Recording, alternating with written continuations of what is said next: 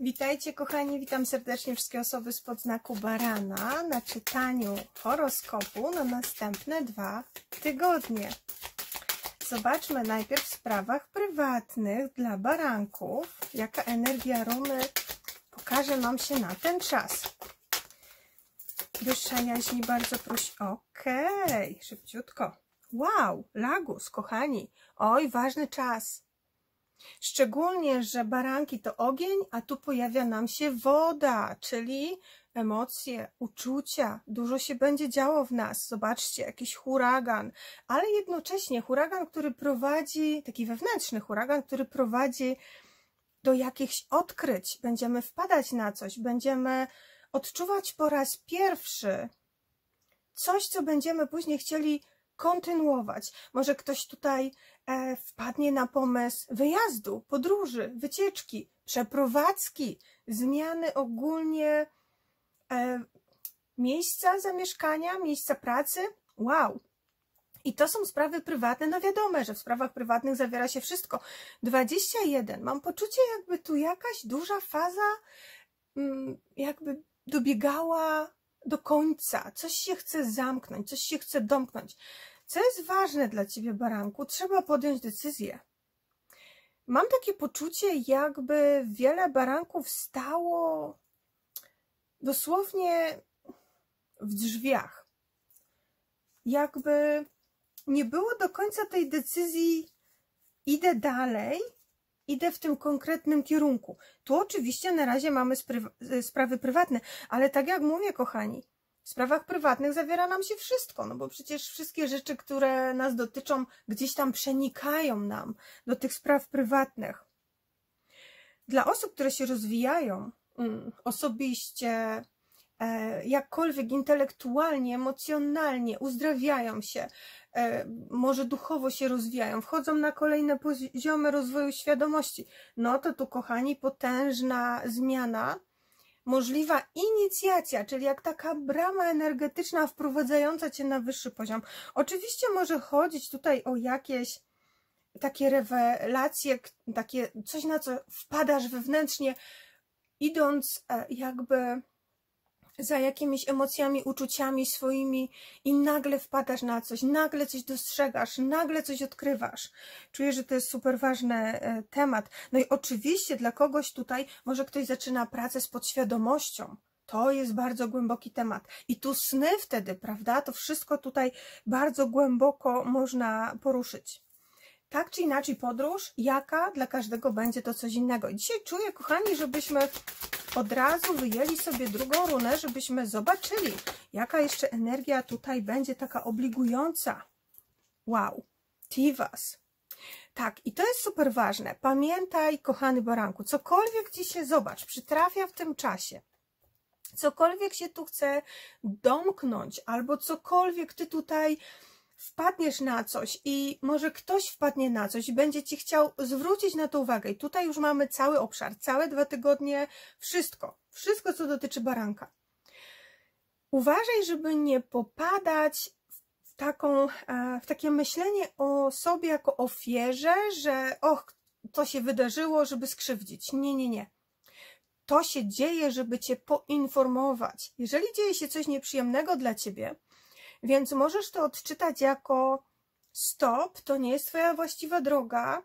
Stop, zwróć uwagę na otoczenie, czy to jest Twoje właściwe towarzystwo, czy to jest właściwa Twoja praca, czy to jest właściwe Twoje miejsce, czy to Cię uszczęśliwia, czy to Cię unieszczęśliwia. I teraz, baranku, co z tym zrobisz dalej? Będziesz tu dalej siedzieć, tkwić i e, płakać nad tym losem, prawda? Czy weźmiesz sprawy w barankowe ręce i postanowisz podjąć decyzję i wyruszyć w dalszą podróż? Wiecie, co czuję na ten czas dla baranków, ale mam ciary teraz. Baranki, komu w drogę, temu czas. Wow, czuję takie ciary teraz. Na całym ciele. Jeżeli czujesz to też u siebie, to dotyczy też ciebie super, super bardzo. Nie musisz czuć aż tak bardzo. Wszystkie baranki tutaj będziemy to przeżywać. Ja mam akurat w Marsie i Wenus baranka, także och, intensywnie. Możecie napisać, jeżeli macie ochotę podzielić się, gdzie wy macie ten aspekt. Czy jedynie w słońców, może w ascendencie, może gdzieś indziej, ale ja czuję, że tu się oj będzie działo.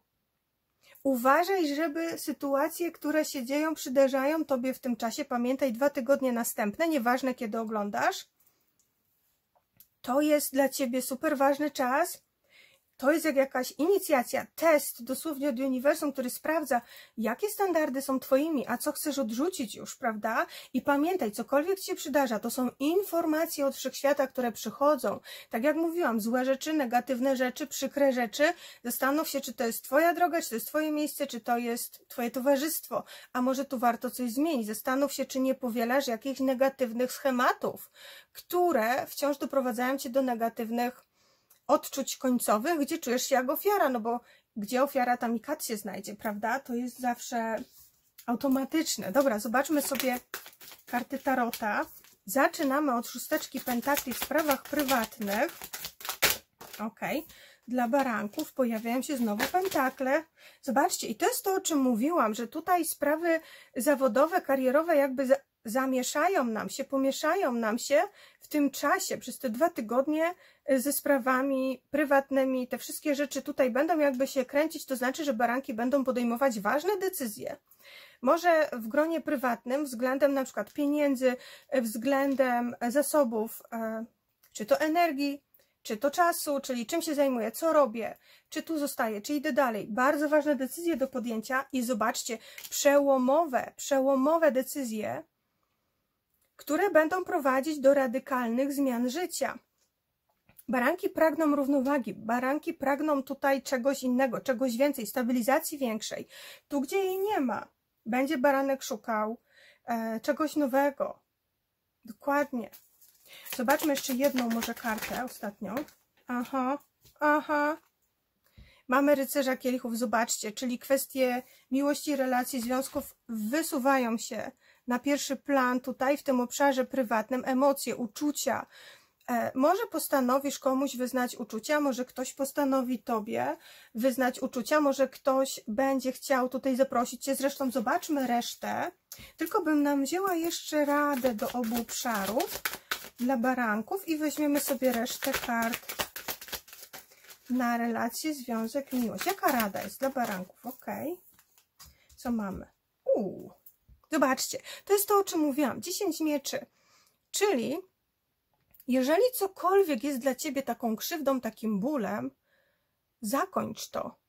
10 to jest, kończy się etap, kończy się faza, prawda? To, co mówiłam tutaj, to jest czas na to, aby zakończyć, dokończyć, zamknąć, domknąć, odejść od wszystkich sytuacji, które są dla ciebie krzywdzące. I nie wymyślaj teraz baranków przeszkód, dlaczego nie możesz tego zrobić, bo wtedy sobie rzucasz kłody pod nogi.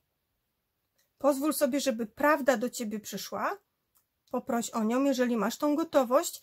Co ja mam zrobić, żeby wyzwolić się z trudnych sytuacji, trudnych obszarów w moim życiu, destrukcyjnych, może to jest praca, może to jest relacja jakaś toksyczna, co by to nie było, zapytaj wszechświata, ale z otwartością na e, przyjęcie odpowiedzi, co ja mam zrobić, jak ja mam się uwolnić z tego.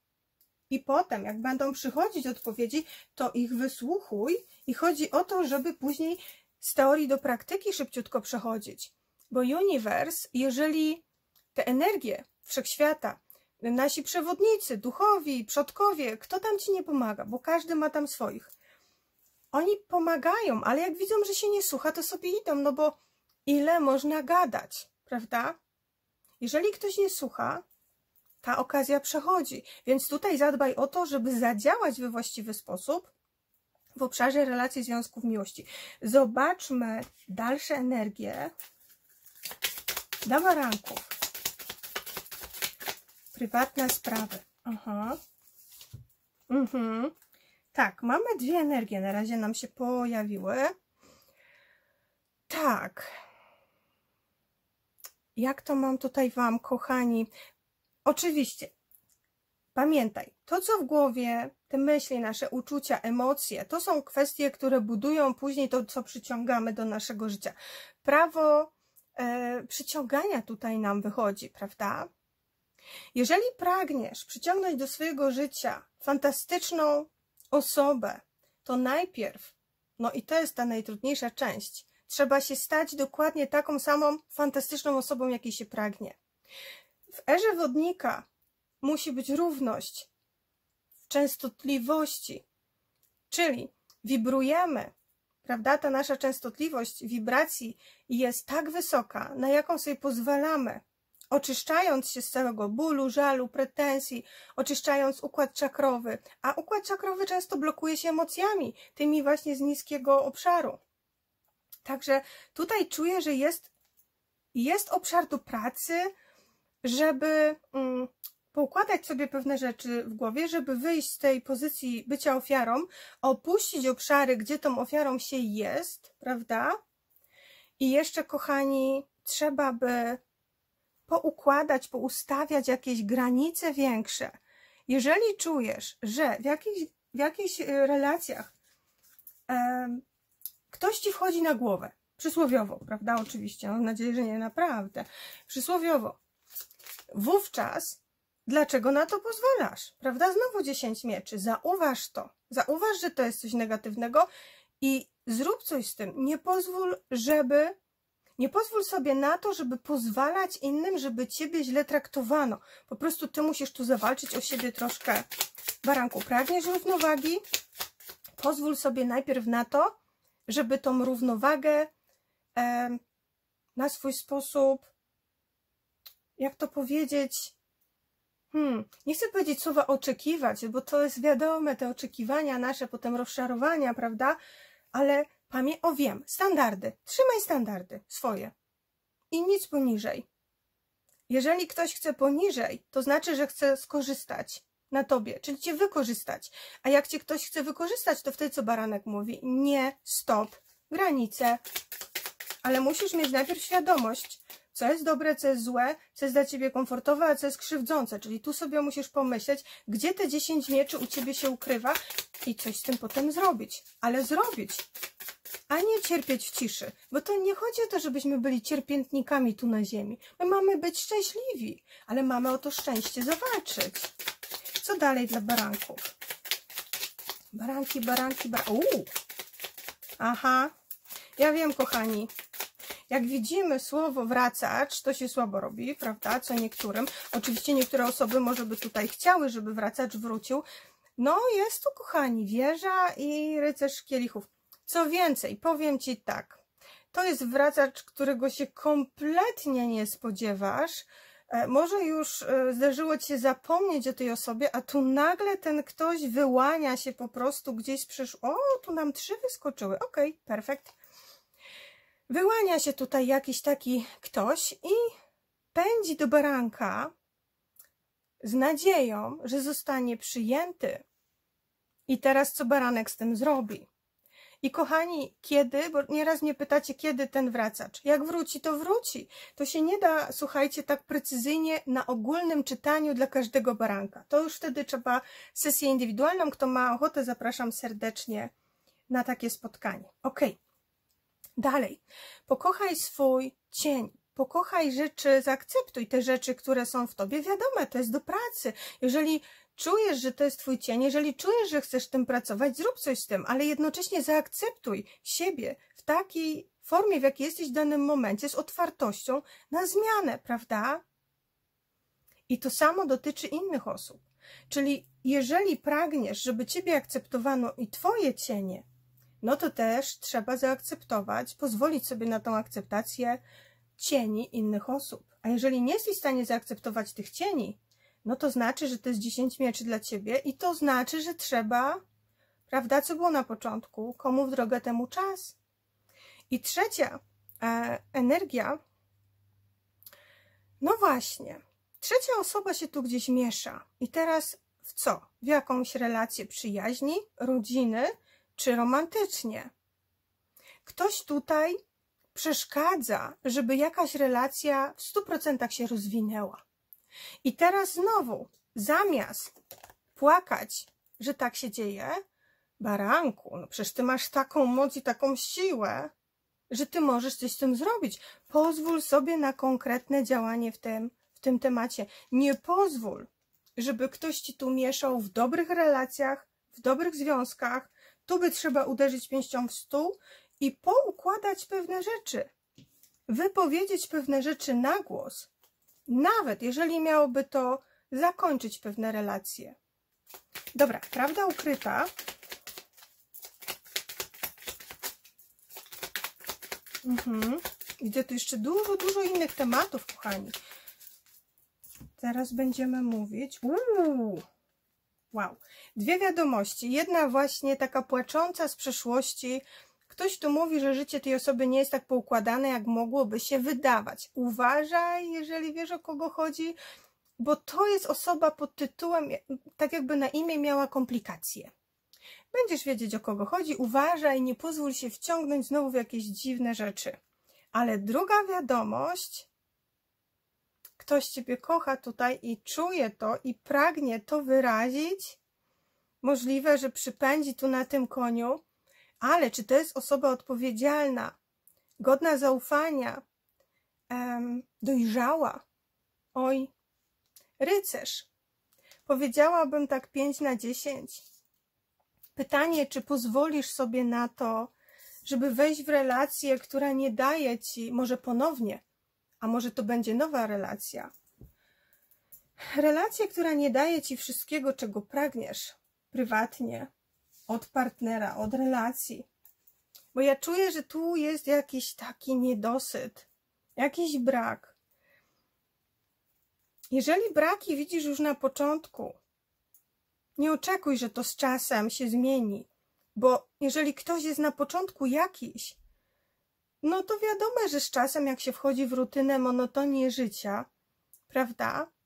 No to już, już nie ma rycerza kielichów, już nie ma tych starań wielkich. Oby to wtedy nie spadło do pazia.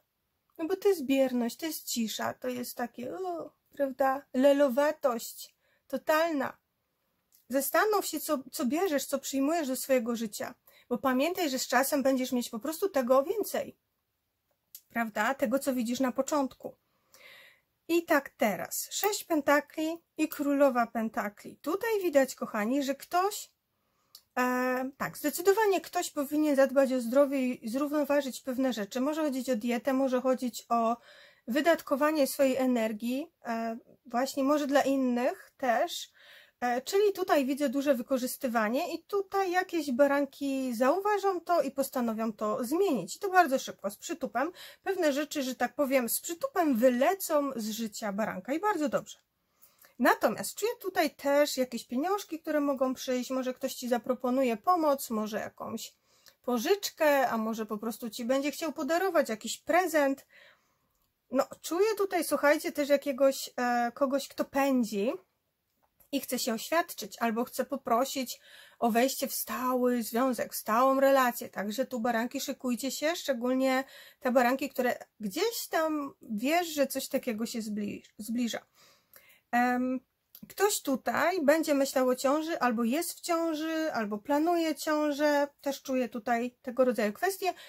I ktoś myśli też o tym, żeby zamieszkać razem, ale tutaj ja widzę duże wątpliwości, czy te sprawy są załatwiane uczciwie tutaj i czy to jest wszystko sprawiedliwe, bo ja tu czuję, że ktoś tu czuje się finansowo wykorzystywany, albo przynajmniej masz takie poczucie, że, że to nie jest fair do końca, prawda?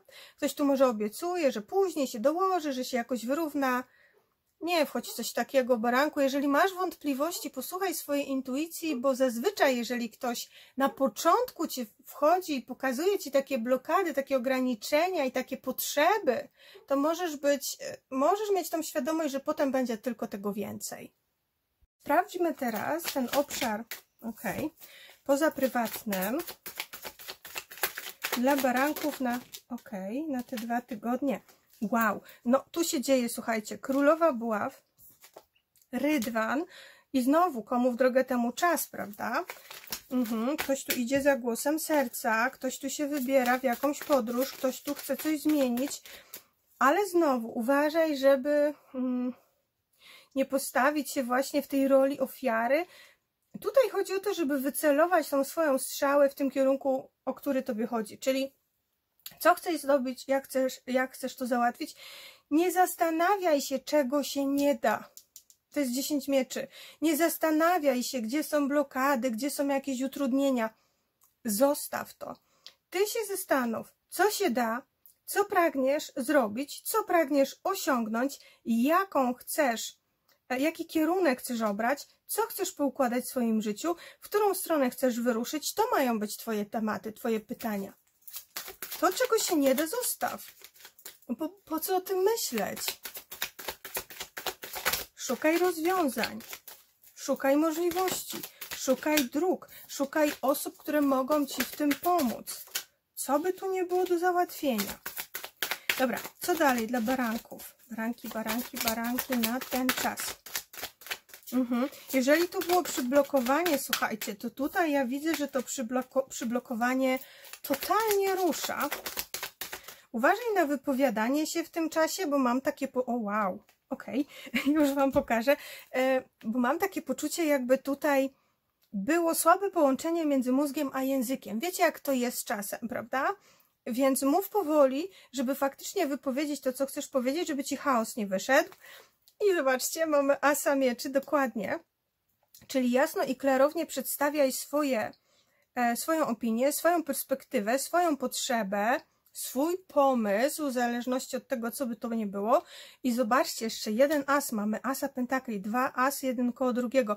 I zobaczcie, to jest dużo piękniejsze, as mieczy, as pentakli, czyli poszukuję sposobów, poszukuję możliwości, żeby w materii zadziałać, żeby było lepiej, dużo lepiej niż było wcześniej.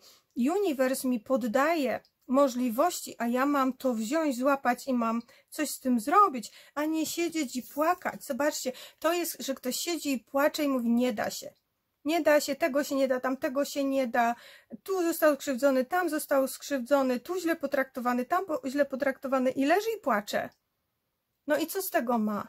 Nic poza tym, że traci energię, traci moc, traci czas, prawda? Wiadomo, można się powkurzać, że coś się wydarzyło. No każdy z nas jest człowiekiem, prawda? Powkurzać się, pogadać o tym, zostawić, prawda? To tak jak ze śmieciami. Pakujemy, wyrzucamy z głowy.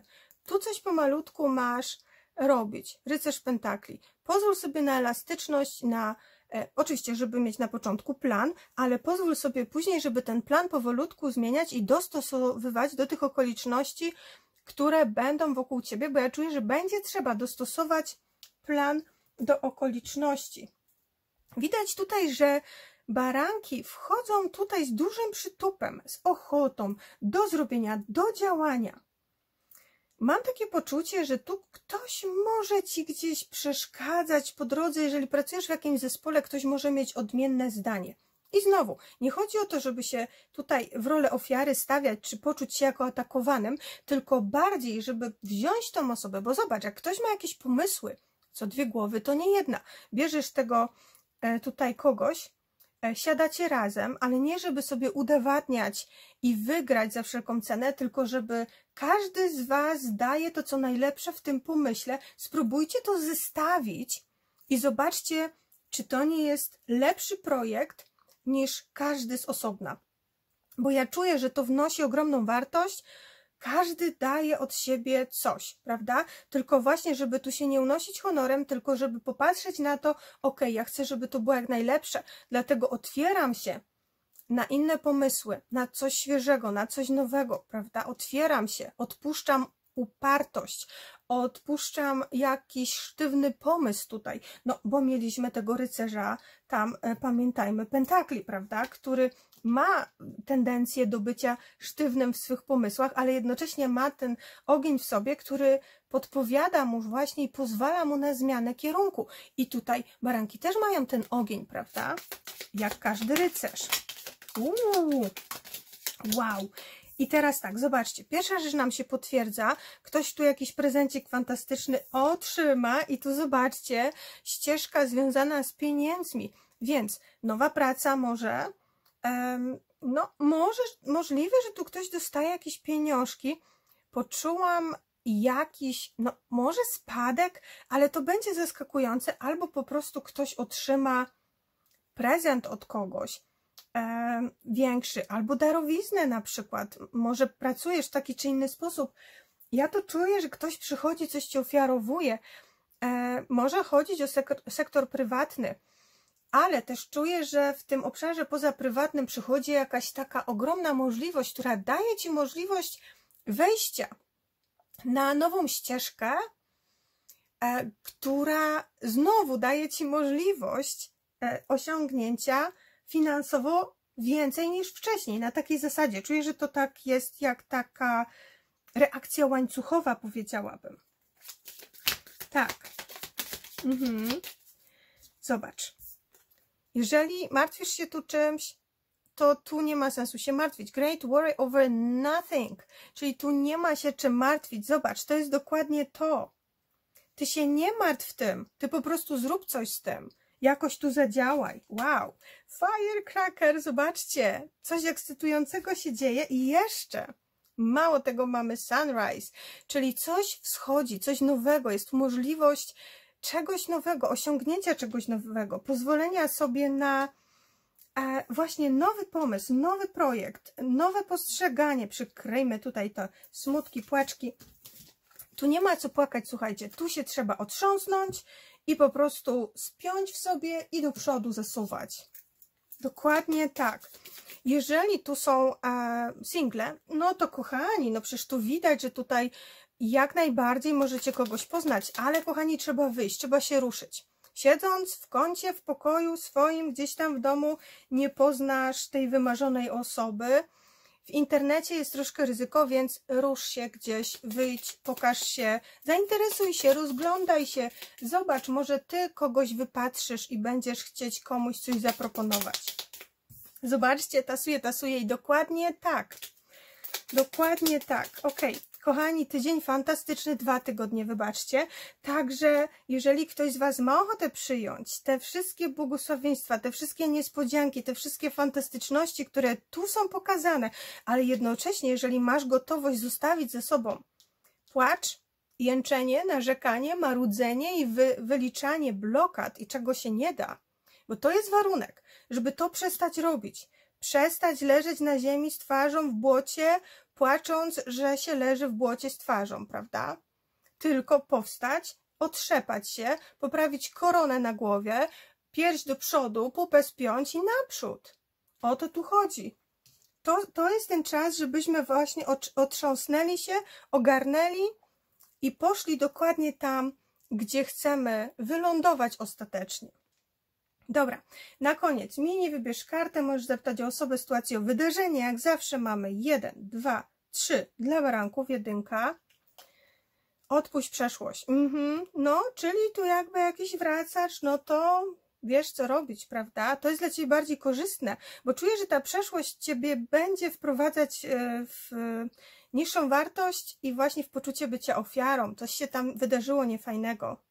Dwa, tu jest raczej nie, ale tutaj ja czuję przy tym rydwanie, przy tym mieczu, coś tu się może zmienić. To jest pamiętaj raczej. I trójka. Tutaj mamy niewłaściwy czas. Ja tu czuję, że tutaj przychodzą niedługo dla Ciebie takie okoliczności, które mogą bardzo wiele zmienić. Dlatego nie jest to dobry czas na to, o co pytasz.